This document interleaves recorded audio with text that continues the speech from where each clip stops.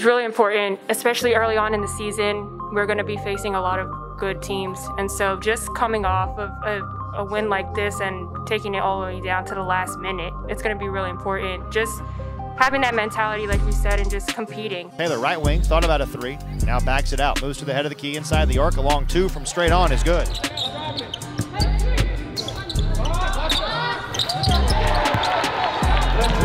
That was the other way quickly. Into the front court, it's Taylor with the left-handed layup.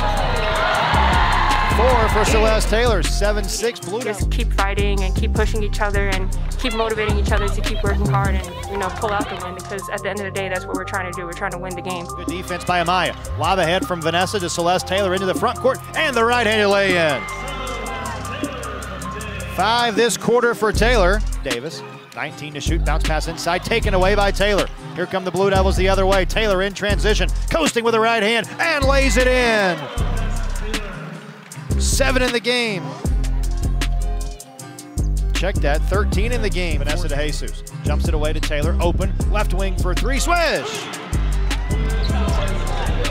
Taylor knocks down the triple. She's got 14 in the game. On top to Celeste Taylor. Drives to the foul line. 15 footer rolls around and in. One away to Taylor deep on the left. Taylor drives left wing. Open for three. Swish! Big three for Celeste Taylor. Taylor, 13 to shoot. Taylor drives to the foul line. Steps back. Dumps it inside for Williams. Catches off the window and scores.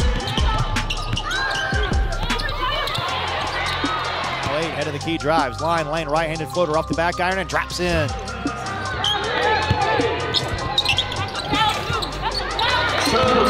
Now Taylor, drives left baseline, inside for Williams, lays it up, got it to go, 6.2 to go, and Alabama calls timeout.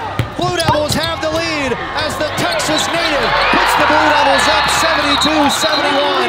72-71. So we just stand back behind each other and just continue to fight. I think that's really important. So this was a really important win for us.